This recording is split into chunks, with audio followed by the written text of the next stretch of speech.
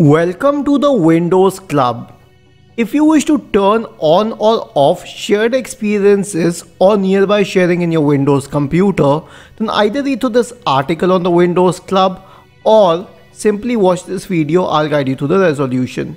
The procedure is a little different with Windows 11, so I'll explain you the procedure. Right click on the start button, select settings, Go to system on the list on the left hand side and scroll down to nearby sharing. So instead of shared experiences, it's called nearby sharing here. By default, it is off. So if you wish to turn it off, you can use this. If you wish to turn it on for my devices only, click on this. And then if you wish to turn it on for everyone nearby, you can click on this. And for Windows 10, you need to go to settings and then go to the system option on the list on the left hand side go to shared experiences.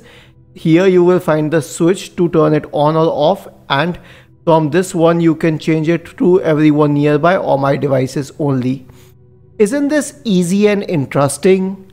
If you have any doubts please go to the original article on the windows club scroll down to the comment section and write your query. We will surely answer to it do not forget to subscribe to the channel. Thank you for watching this video and have a nice day.